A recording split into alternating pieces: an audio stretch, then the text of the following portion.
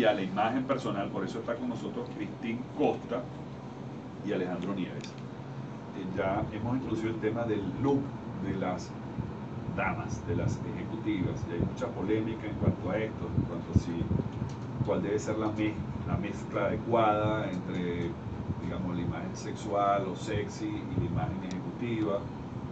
Y bueno, algunas personas insisten en que, bueno, quieren vestirse como, como quieren.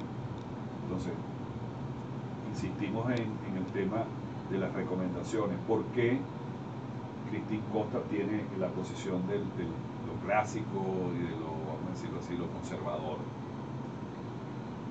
No es conservador, es ser elegante. O sea, tú puedes llevar el look que tú quieras mientras tú conserves la elegancia. Eso es una cuestión de actitud.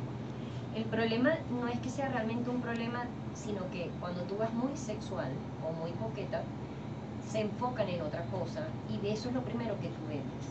Si tú vas por un, eh, un cargo empresarial, esa imagen va a chocar.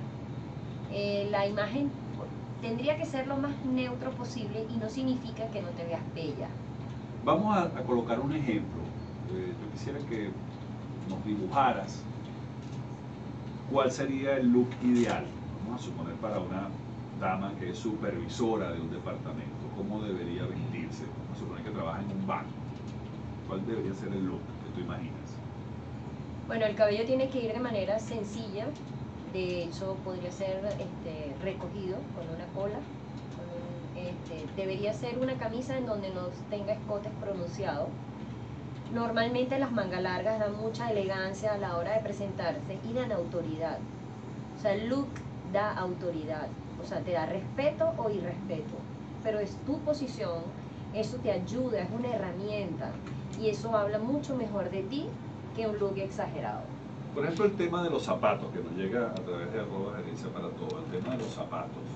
Hay gran variedad de zapatos para las damas y hay unos zapatos que realmente son muy bellos, pero quizás no son los más adecuados para ir al trabajo. De ese tema vamos a conversar luego de la siguiente pausa.